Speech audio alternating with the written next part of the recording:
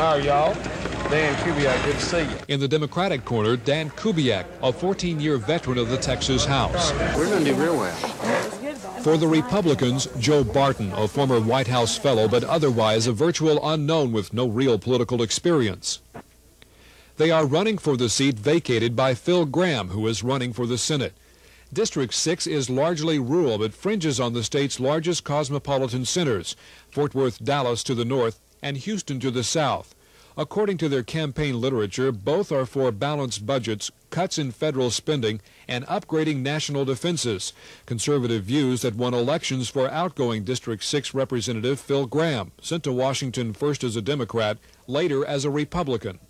Voters here are not as much Republican or Democrat as they are conservative. Many of the same people who will vote for Republicans Ronald Reagan and Phil Gramm will also vote for Democrat Dan Kubiak. But Kubiak's biggest concern in this election is that the president's popularity is so enormous here that voters will simply pull one lever or check one box and vote a straight Republican ticket. Republican Joe Barton is counting on it. Six months ago, we weren't given a chance to win. Four months ago, we weren't given a much better chance to win the last two weeks, we've got a chance to win. Everybody that's looked at the race says that. Barton says the real issue is who can best work with the Republicans he expects to be in Washington come January, Ronald Reagan and Phil Gramm, a relationship Kubiak says he would have no problem with.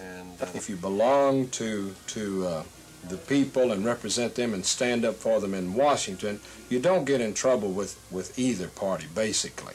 Kubiak oh, claims, by his own polls, he is substantially ahead of his opponent. Barton says he doesn't have the money for polls, but GOP national headquarters, a very interested observer, tells him the race is dead even.